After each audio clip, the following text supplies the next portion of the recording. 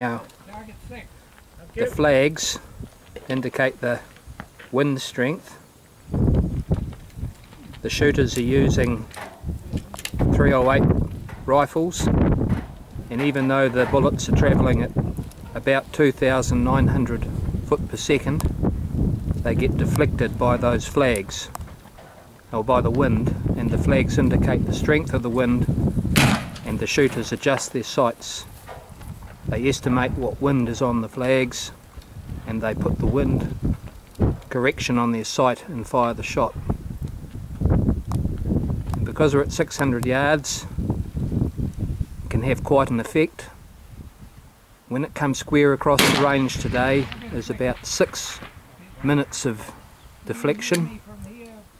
One minute at 600 yards is six inches, six sixes are 36 so there's about a little bit less than a metre of deflection when the wind is strong. When it goes down the range, probably only a third of that. You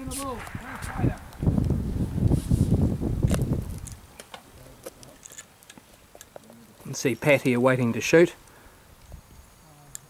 You can see that uh, her rifle has got aperture sights on it, so she's shooting with open sights and she's putting that black aiming mark in the middle of the aperture.